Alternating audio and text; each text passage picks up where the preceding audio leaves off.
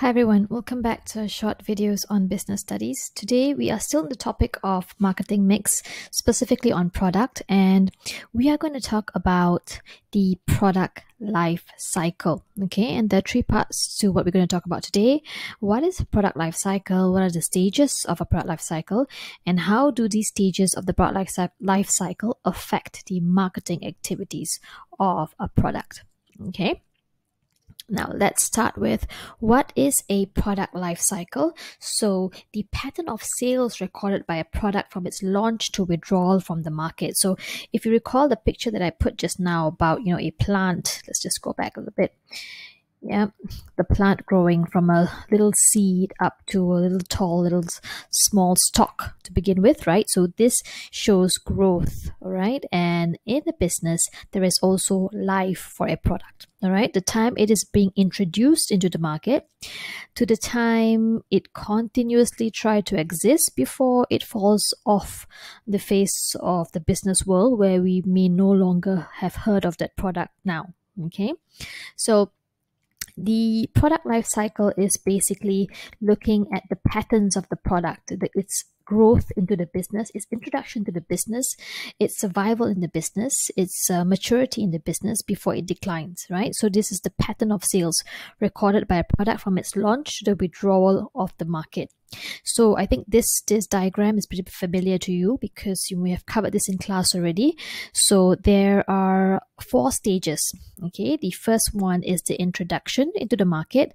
The second one is the growth. The third one is on the maturity, and the fourth is on the decline. Okay, if you notice the product development stage, although it's here, it's recorded as stage zero because this is where the product is being developed. Yeah, and at this point, if you notice the red line here it is going down right down the the, the timeline in the sense of uh, you know the sales and profits recording below normal because you'll be spending more money developing the product right? That's where you're able to see that.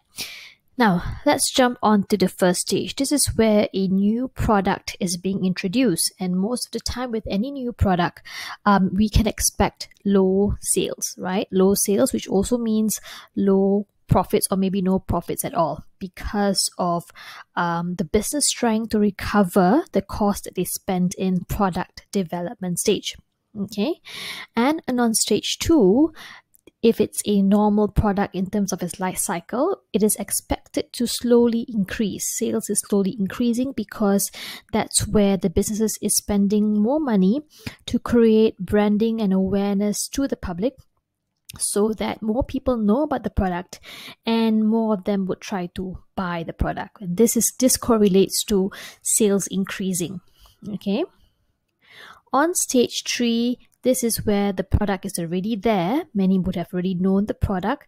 Therefore it is expected to peak if you can see at the top here to peak for a while right? Where, where it is hopefully longer than usual where the business will try to recover all of its uh, cost as much as possible and of course achieving high profits here all right before it moves on to the fourth, fourth stage of the product life cycle or the PLC where you see the product is declining it goes down right? It goes down right? So when it goes down it shows that sales may also drop okay demand for the product is also dropping and that will of course affect the revenue and also the profits of the business okay? So this is the four patterns of sales okay or in the product life cycle. From the time the product is launched into the market to the point that the product is withdrawn right or no longer exist now on part three, we look at the marketing activities, uh, you know, being used right in each of the stage. Okay, as you can see in stage one, there's high spending on marketing to create, uh, uh, sorry, brand awareness.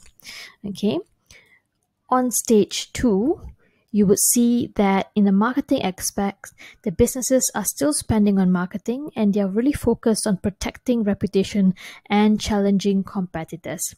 So they may be spending a lot more than usual aggressively marketing, trying to point out their unique selling points, right? To encourage and to explain to new customers existing customers or you know people who have not heard of the brand who they are okay on stage 3 the marketing expenses may reduce at this point of time simply because sales is high business is already pretty known in that aspect for that particular product but they will still go all not all out but they'll still be spending on marketing to maintain the brand awareness. And at this time they may already start looking at extension strategies. Okay so what does extension strategies mean? They may think of how to innovate their product better, whether it's coming up with a new special limited edition design of the particular product. Why? Is to encourage even more sales and to keep the product longer in the market.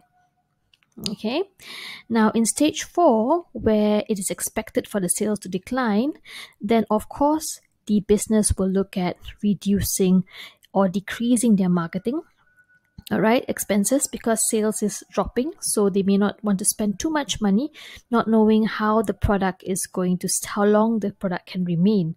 But they may still want to focus on the extension strategies to keep it on decline or between uh, maturity and decline longer right before it completely ceases to exist okay so there you go. These are the four stages of the product life cycle.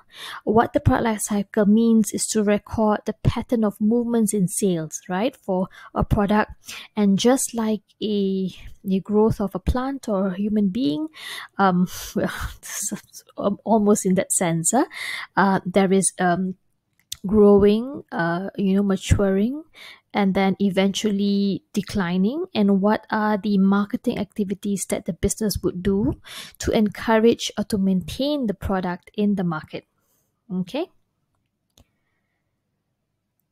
Now yes so you know this slide. It means that it's the end for today's lesson. Hope you were able to follow. Um, if you do find this video useful please do share with your friends. Till then and i speak to you again have a great day ahead